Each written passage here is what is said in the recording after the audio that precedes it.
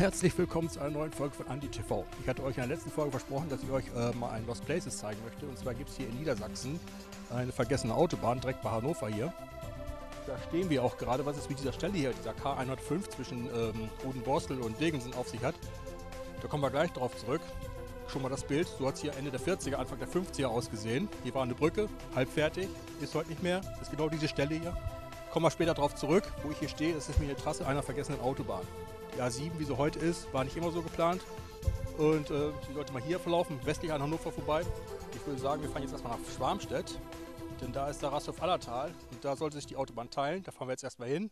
Und auf dem Weg dahin erzähle ich euch mal ein bisschen was. Und dann kommen wir später wieder auf diese Stelle zurück. So, nun fahren wir also auf der heutigen A7 Richtung Norden. Die A7 wurde bereits als Projekt Hafraba, das heißt Hamburg, Frankfurt, Basel, 1927 geplant und 1938 wurde mit deren Bau begonnen. Sie sollte sich auf der Höhe Rastanlage Allertal teilen, weil man die ähm, Städte Braunschweig und Wolfsburg und Salzgitter besser anbinden wollte an Bremen und Hamburg. Und der einen Streckenast sollte westlich an Hannover vorbeilaufen, über Garbsen, Resse. Und der andere sollte dann eben, wie gesagt, über Braunschweig und Salzgitter verlaufen. Bei Nordheim sollten sich beide Streckenäste wieder vereinigen. Nun haben wir die Autobahn verlassen. Wir haben auch bereits das Städtchen Schwarmstedt hinter uns gelassen. Wir sind jetzt auf dem Weg zwischen Schwarmstedt und Hope. Quasi auf dem Rückweg nach Hannover, aber jetzt über Landstraßen. Ähm, und da hinten kündigt schon, sich schon was an. So eine scheinbar nutzlose Ausbuchtung der Straße, weg von den Gleisen und gleich hinter wieder ran an die Gleise. Das gucken wir uns mal genau an. Hier halten wir mal an. So, aus der Richtung sind wir gekommen. Da hinten ist Schwarmstedt. Im Rücken von uns ist jetzt Hannover. Wenn wir uns mal umdrehen, sieht man die Ausbuchtung dieser Straße so völlig grundlos.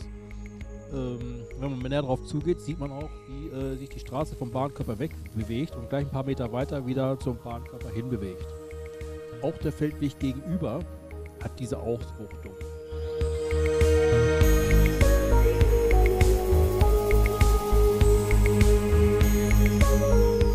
Hier sollte die Strecke 24, also die geplante Strecke 24, im Spitzenwinkel die Gleise überqueren und dann da hinten neben dem Wäldchen, links neben dem Wäldchen weiterführen.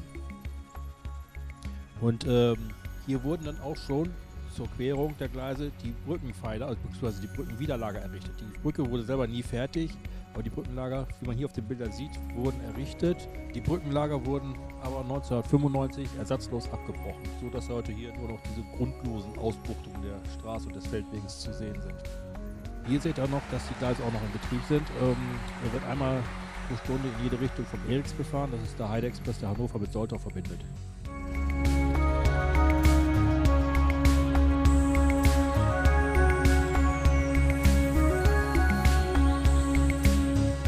Ja, die Autobahn sollte dann in südwestlicher Richtung hier links an diesem Wäldchen vorbeiführen, in Richtung Garbsen, wo dann auch die B6 gekreuzt werden sollte und später dann noch die A2.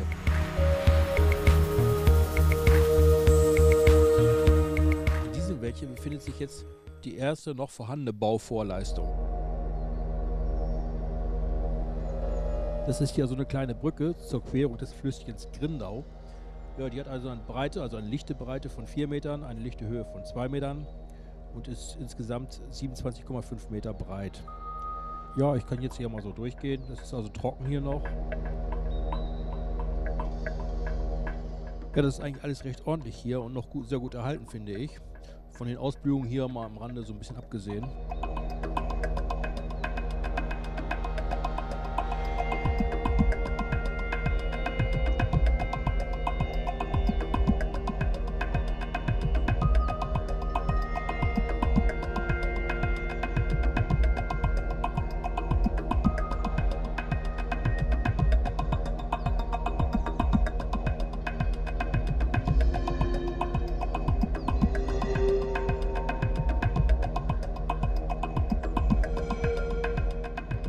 Jetzt gucken wir mal in Fahrtrichtung Norden über das Projekt. Und hier sieht man gut, wo dann der Mittelstreifen angelegt worden wäre. Ja, von der Dammschüttung ist hier nicht mehr viel zu erkennen. Eigentlich fast gar nichts. Es ist auch alles äh, zugewuchert hier. Ja, hier hat man halt nichts mehr gemacht.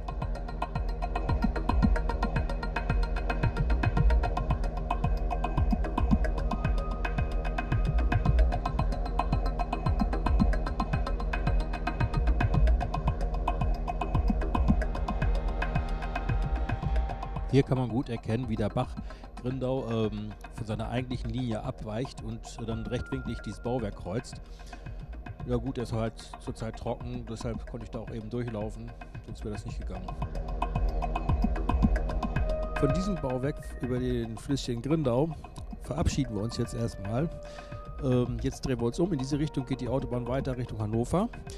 Und hinter dem Wäldchen da, was da jetzt ins Bild kommt, ist noch ein Stück der alten, äh, äh, alten Trasse vorhanden. Und da fahren wir jetzt erstmal hin. So, dieses kleine Wäldchen haben wir eben von der anderen Seite gesehen. Wir sind jetzt wieder am Ziel, am nächsten Ziel, am nächsten Etappenziel, wenn ich das so sagen darf. Wenn wir uns jetzt umdrehen, ähm, kommt jetzt hier so ein Feldweg ins Bild. Und das ist ein Teil der alten Trasse. Die ist jetzt hier zugewachsen und teilweise auch noch in der vollen Breite erhalten. Hier kann man also ungefähr 500 Meter jetzt auf der Trasse entlang gehen. Man sieht, ähm, dass sie äh, teilweise noch sehr breit ist, aber teilweise haben die Bauern bis an den Weg herangeflügt.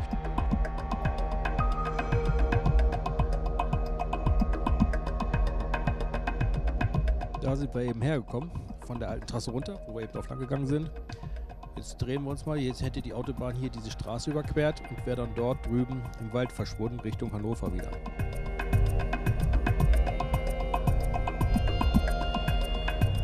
Wir fahren jetzt mal weiter zu den nächsten Bauvorleistungen in Fahrt Richtung Hannover. Das heißt, wir können jetzt nicht direkt die direkte Linie fahren, sondern müssen immer so über die Orte fahren, um die nächsten Sachen zu erreichen. Ja, jetzt gucken wir mal, ob wir das hier finden. Ich benutze zur Orientierung Google Satellitenbilder, die ich mir ausgedruckt habe.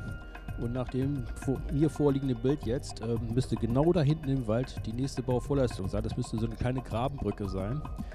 Ich muss jetzt also hier über den Acker laufen und gucken, ob ich da was finde. Schauen wir mal.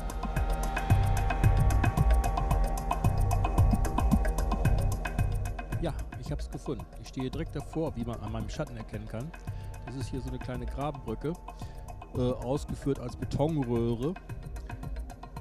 Und die hat einen lichten Durchlass, also eine lichte Weite von 1,20 Meter und eine lichte Höhe von 1 Meter.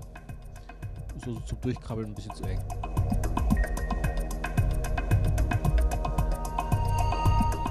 Kann man jetzt die Betonröhre gut erkennen. Ich stehe direkt drauf. Die ist hier sehr stark vermoost.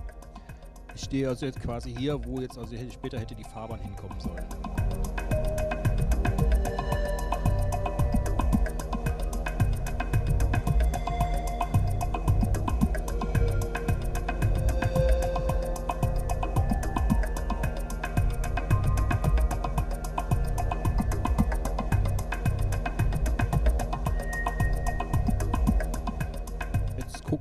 Rein. Wie man hier an den Treppen an, den Seiten sieht, das hätte mal mit Naturstein verkleidet werden sollen. Das ist wohl nicht zur Ausführung gekommen. Wie gesagt, man hat die Arbeit in kriegsbedingt dann irgendwann eingestellt. Und so ist das dann halt verblieben, ohne Naturstein äh, verkleidet. Auch hier ist äh, wieder in unmittelbarer Nähe dieses Bauwerkes ähm, keine äh, Bodennutzung vorhanden. Das heißt, hier wachsen nur Bäume und es ist sehr stark zugewuchert hier alles. So, in diesem kleinen Wäldchen da eben war diese kleine Grabenquerung, die ich euch eben gezeigt habe. Und nur 250 Meter davon weg ist schon die nächste Bauvorleistung, nämlich die Querung der großen Beke. Da stehen wir jetzt direkt davor.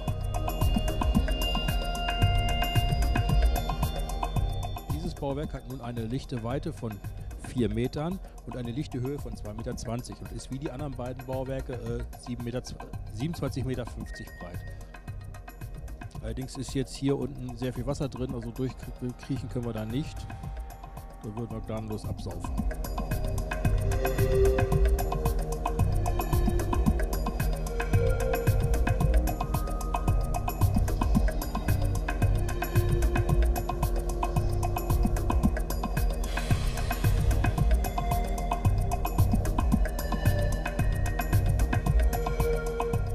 Große Beke wurde im Gegensatz zur Grindau noch nicht durch dieses Bauwerk verlegt, sondern ähm, fließt noch im ursprünglichen Zustand südlich am Bauwerk vorbei.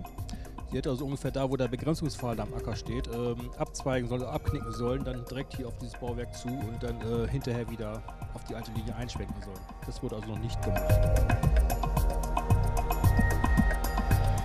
So, nun verlassen wir diese Bauvorleistung und setzen unsere Exkursion da weiter Richtung Hannover fort.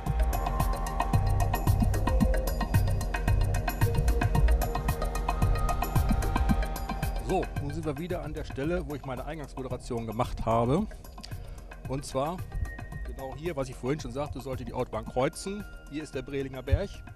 Da geht es nach Norden und ähm, da wäre so Fahrtrichtung Hamburg gewesen. Ich kann jetzt hier auf dieser Trasse noch ein Stück reingehen. Das ist hier noch so eine Brache, da kann man auch noch gut erkennen. Da gehen wir auch gleich mal ein Stück rein, da sind noch Reste des alten Damms vorhanden. Und dann danach gehen wir hier weiter in den Wald rein. Da sollen tatsächlich noch Betonteile liegen.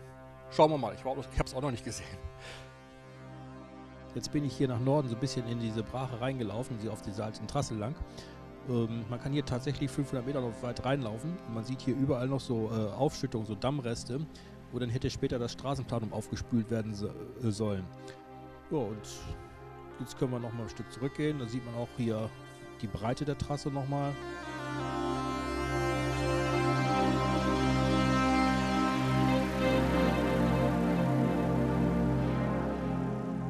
Und dann kommt da hinten die Straße auch schon, wo ich dann eben meine andere Moderation gemacht habe. Und genau hier sollte das queren, da habe ich auch eben das Bild gezeigt.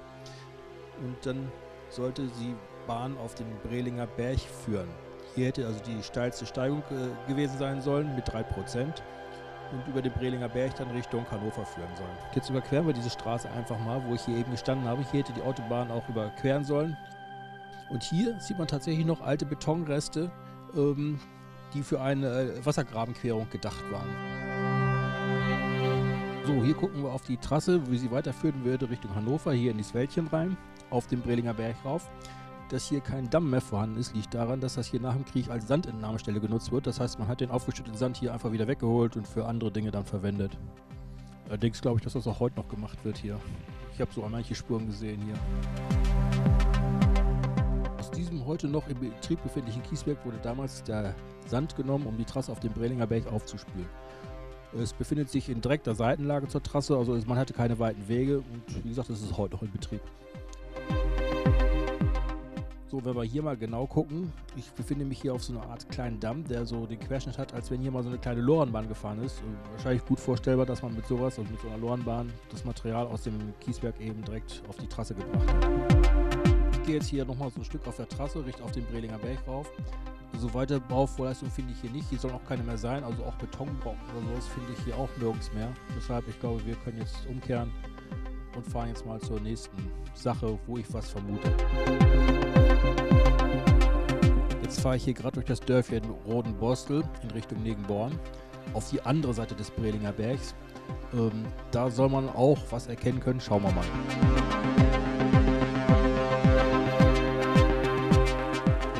Hier an der L383 zwischen Negenborn und Breling. Und genau hier hätte laut Google Satellitenbilder die Bahn kreuzen sollen. Auf, Google, auf den Google-Bildern ist es auch gut zu sehen. Also so, so, eine Schneise im Wald, aber ich selber erkenne hier nichts, außer dass die Vegetation hier etwas lichter ist als beispielsweise da drüben. Und ähm, mehr sehe ich hier nicht. Aber ein Highlight auf dieser Strecke gibt es noch. Das möchte ich euch jetzt mal zeigen. Das ist Baresse. Da fahren wir jetzt mal hin. Das ist ein Feldweg, der ist so unglaublich gerade trassiert. Das könnt ihr jetzt hier auf den Google-Bildern auch mal sehen. Ähm, da kann man locker mit 200 lang brezeln. Ja, das ist also tatsächlich, der ist asphaltiert, der Feldweg. Das ist also tatsächlich ein, ein Stück, auf dem man heute auf dieser ehemaligen Autobahn fahren kann. Also ehemalig ist ja halt nie fertig geworden, aber man kann halt ein Stück drauf fahren jetzt. Da fahren wir mal hin. Schauen wir mal. Das müsste jetzt gleich hier nach rechts weggehen. Ja, da ist das schon. Hier fängt jetzt also tatsächlich ein Stück an, auf dem man hier fahren kann. Das ist so unglaublich gerade. Wie gesagt, so wird kein Feldweg trassiert oder kein, kein Wirtschaftsweg. Das ist also äh, tatsächlich ein Teil der Strecke 24, auf dem man hier fahren kann. Allerdings würde ich jetzt hier nicht mit 200 lang brezeln wollen, obwohl es möglich wäre. Denn irgendwann hier ein Privatgrundstück und man steht und vor, vor einem Tor und da sollte man rechtzeitig zum Stehen kommen, sonst gibt es das Schaden.